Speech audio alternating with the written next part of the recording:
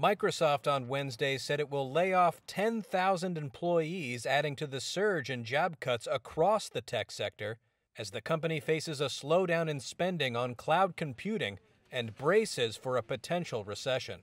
Alex Zukin, managing director at Wolfe Research, said the layoffs reflect broader belt tightening in the industry. Many companies are right sizing their their staff for what's likely to be uh, a, more incrementally challenging period in demand uh, from the macro economy versus the last two years.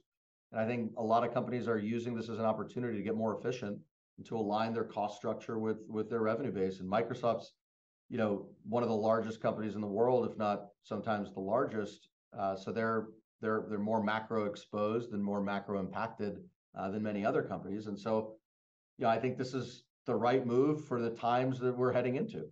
The timing of the announcement comes the same day its cloud computing rival Amazon said more employees will be notified in its own move to cut 18,000 jobs. In a note to employees, Microsoft CEO Satya Nadella said customers wanted to, quote, optimize their digital spend to do more with less and, quote, exercise caution as some parts of the world are in a recession and other parts are anticipating one. Nadella said the layoffs affecting less than 5% of Microsoft's workforce would conclude by the end of March.